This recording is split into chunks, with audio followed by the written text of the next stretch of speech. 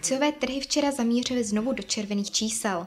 V USA indexy ztrácejí více než 2% a technologický index Nasdaq klesal dokonce o téměř 3,5%. Na vině bylo i tentokrát téma americko-čínských vztahů.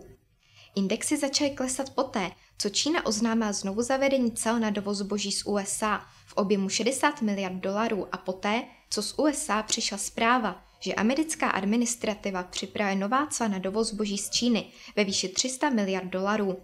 Tato cla by však měla vejít v platnost až koncem července, a tedy po schůzce amerického a čínského prezidenta, kteří by se měli sejít na samitu G20 v Japonsku.